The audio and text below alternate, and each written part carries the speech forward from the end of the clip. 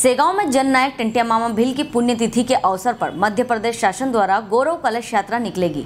जननायक टंटिया मामा गौरव कलश यात्रा उनके जन्म स्थल खंडवा ज़िले के बड़ौद अहिर से 27 नवंबर को शुरू होगी। यात्रा का समापन महू के पास पाताल पानी में 4 दिसंबर को होगा। यह यात्रा खंडवा, हरसूद, खरगोन, बड़वानी, धार, अलीराजपुर, झाबुआ, रतलाम और इंदौर ज़िले में निकाली जाएगी।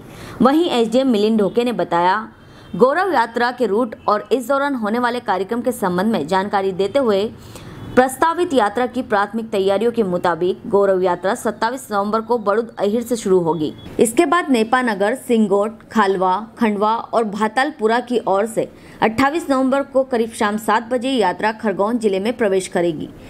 सेगांव से संजय जायसवाल की रिपोर्ट।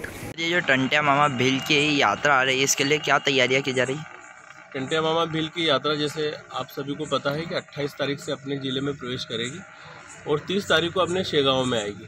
तो शेगांव में जहाँ भी अपन खड़े हैं समिति के यहाँ यहाँ पर अपना पूरा कार्यक्रम रहेगा और पास में साई बाबा का जहाँ मंदिर है वहाँ से कलश यात्रा के रूप में ढोल धमाके के साथ उस यात्रा को यहाँ लेकर आएँगे। यहाँ कलश पूजन और सांस्कृतिक कार्यक्रम का आयोजन होगा। इसके बाद फिर अपन अगले ज़िले के लिए उनको यहाँ से आगे भेजेंगे। सर ये यात्रा किस तारीख को आएगी सर यहाँ? यहाँ तीस तारीख को आएगी सर ये यात्रा का प्रारंभ कहाँ से होगा?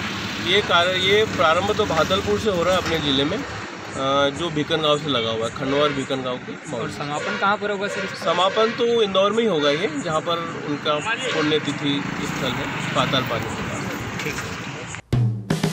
हेलो फ्रेंड्स आप देख रहे हैं हमारा channel S W twenty four news हमारे सारे वीडियो सबसे पहले देखने के लिए आप हमारे चैनल को सब्सक्राइब करें और पास में लगे बेल आइकोन को दबाना बिल्कुल भी ना भूलें।